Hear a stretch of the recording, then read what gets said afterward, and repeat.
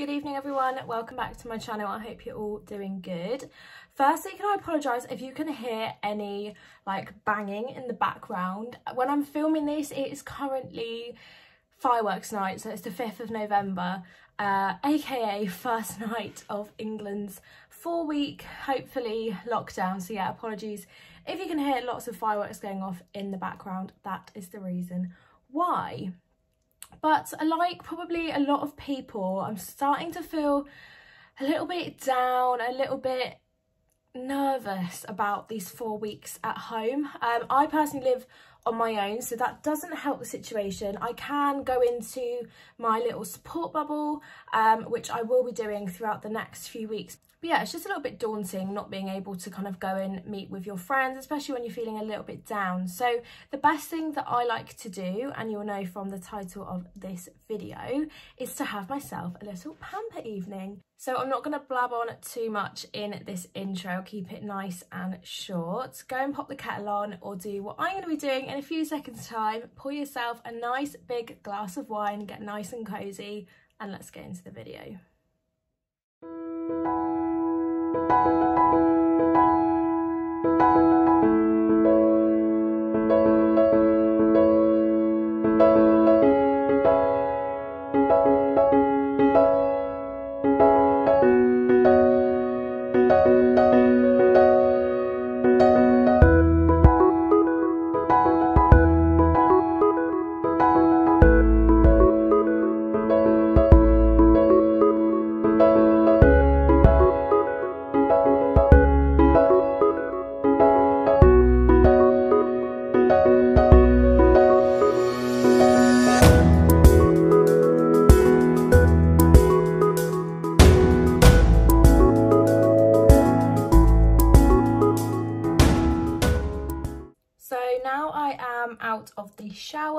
Um, I am wearing a towel. I promise I'm not sat here naked. My pores are obviously now nice and open because of the heat from the bath. So I'm going to be using two face masks as part of this kind of like pamper evening. Um, the first one is going to be this one by Misfit Cosmetics. This is a blackhead extraction paste. I've used quite a few of these and personally I don't think this is um, kind of any different to like the ones you can get in Superdrug. I think this one was slightly more expensive um, but yeah most of them tend to kind of work the same. So you don't want to put too much on of this. I think we've all seen those kind of fail videos where people like slap it on absolutely everywhere and then like it really hurts to peel off. So mine is already spewing out the top. But the main areas that we're going to just concentrate this is going to be on the nose the closer you get it to your eyes, it's actually really quite painful. So I would advise not going too close into kind of this area up here. Like I say, you just want to concentrate it mainly on the bit where your sort of pores are larger. Obviously, if you've got large pores in, in different areas, then by all means, use it in those areas. But personally, I find it's just kind of on the bridge of my nose and then slightly down the sides. You also want to be quite generous with this. If you make it thin, then it, it doesn't do, it really doesn't do anything. So yeah, just don't be afraid to, to slap it on. It actually makes it easier to peel it if you've got a thicker layer rather than just a thin one. Otherwise it just breaks whenever you try and peel it off. So I'm going to do a small amount just on my chin. Then I'm going to do a final one on my forehead. So obviously be careful not to go too close to your eyebrows unless you want to give them a wax while you're at it. Um, but yeah, these are kind of the three main areas, kind of nose, chin, and then on my forehead. Some people I've seen have literally waxed it like on their entire face and I wouldn't want to uh, be the one that's got to sit there whilst you've got to peel it off because it looks hella painful. So it says to leave this one for 25 to 30 minutes. Um, it just really depends on kind of how long it takes to dry down depending on how like thick you've put the product on. Um, different areas dry at different times so it's just one of those just keep an eye on it. I tend to sort of set a 20 minute timer and then see how I am looking. So I'm going to carry on drinking my wine chilling out and I will see you guys in about 20 minutes I am back. It's been about 25 minutes. I had to leave it a little bit longer because it wasn't quite dry. Um, but yeah, this is the bit that I don't like doing is peeling it off. So my chin's already starting to come off like, oh, I mean, you guys are not going to be able to see this at all on camera, but there is some definitely some small little blackheads so that's pulled out. I always leave the what the like worst one until last. The forehead one's always fine. But yeah, it's one on my nose I don't like doing. Makes my eyes water.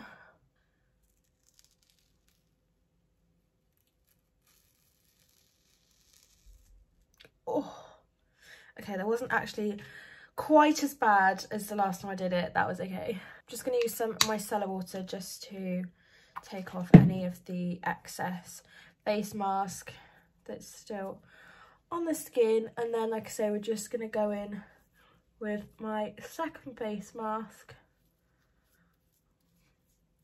so this one is one that I actually picked up in Savers. Um, if you guys don't know what Savers is or if you don't have one near you, then I think it's only a UK thing. I don't know if they have them in other countries it's kind of a cross between I'd say like a B&M and a Superdrug but everything is super super cheap. So I got one of these face masks. This one is the Manuka Honey Revital Revitalizing Sheet Mask. Um doesn't have a brand as far as oh Skin Treats. I think that's the brand name. Um they do quite a few of these. I think there's an avocado one as well which I've tried before which is really nice. Um but I'm just using this just because obviously the blackhead one kind of takes a lot of the um, moisture out of the skin so I'm just going to replenish that with this sheet mask. I'm not going to leave this one on for too long. Um, I'll probably just leave it on for 15 minutes and then we will come back and do the next step in the pamper routine. It's definitely a skill to like be able to apply these neatly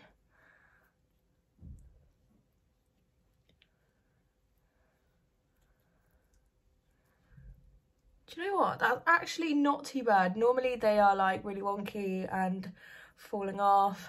But actually that one's gone on quite well, if I do say so myself.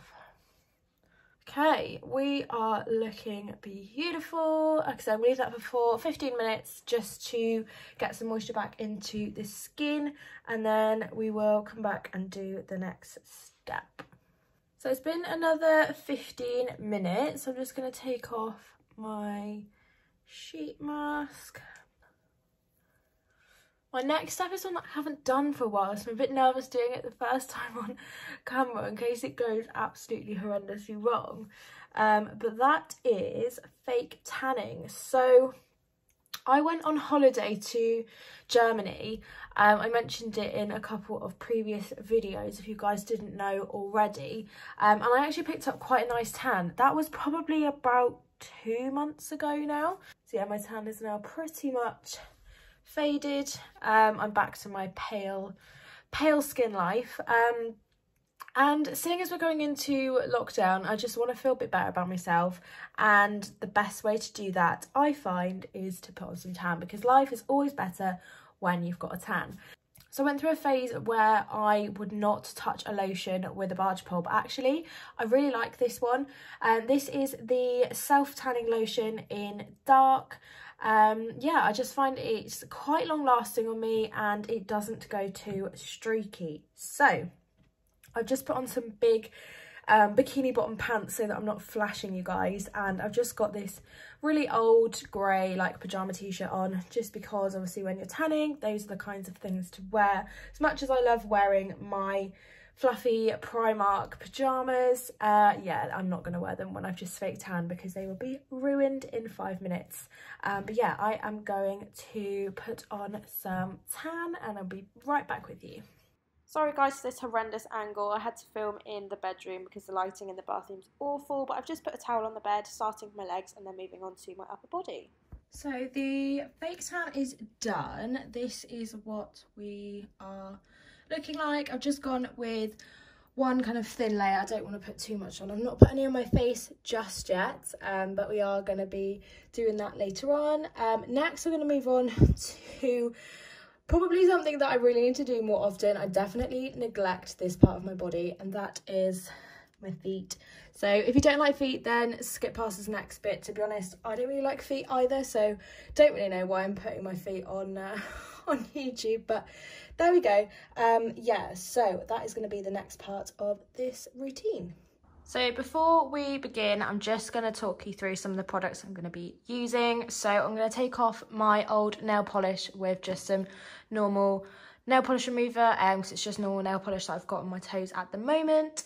Then we've got the three gel polishes. So we've got the base coat, which is this one here. The colour, whichever colour you want to use. This is a blue sky one, which you can get on eBay. And then the top coat. These are all from eBay, so I will try and link some down below for you guys. And then lastly is some isopropyl alcohol and a lint wipe. If you want, then you can get the um, non-wipe top coat. So some of them you don't need this for. Um, but yeah, I haven't got that, so you will need this. Otherwise you get that kind of sticky residue after you have cured your top coat. And the last thing that you're going to need is, of course, a lamp. So I've had this one for years and years. I'm not sure if they do it anymore. I got it off of eBay, um, but I will try and find something similar to link down below for you. So again, apologies for another horrendous angle. So this is quite a nice, easy process to follow, just starting off by removing any old kind of nail varnish, going in with the base coat. I did three layers in total of the colour itself. Then we just go in with the top coat and the isopropyl alcohol just to rub off any of the sticky residue. So my toes are now looking so much better than they were before. Um, I've actually gone ahead and done my evening skincare routine. I'm not going to include that into this video because I'm going to do a separate video on that. So stand by, that should be on my channel fairly soon. The last thing I'm just going to do is just apply a bit more of the Bondi Sands tan onto my face just so that everything matches. And the best thing I find for this is to use a brush. So this one is from Tarte.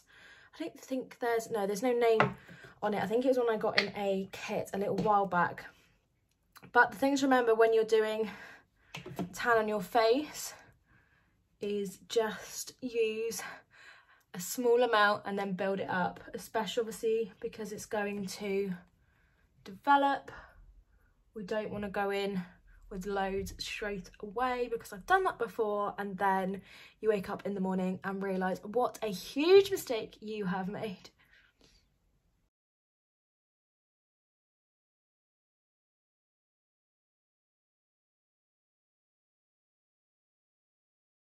Okay guys, that is all I'm going to do. I haven't put loads of fake tan on my body, so yeah, I don't want to put loads on my face, otherwise we won't be matching. Um, but yeah, that is it for my evening pamper routine. I've still got some of my wine left, so I'm going to just chill for the rest of the evening and finish that off. I really hope you guys have enjoyed this video. I hope it's given you a bit of inspiration for uh, your own like evening pamper routines. Just remember if you're feeling a bit down, if you are struggling at all in this lockdown, then I think that this is the best way just to give you a bit of a pick you up and just yeah, get you feeling a little bit better, lift up your mood. Uh, we can get through this. So like I say, I hope you guys enjoyed this video. If you have, then please give it a big thumbs up. Subscribe to my channel if you aren't already. It really does help to support me. And I will see you guys in the next video.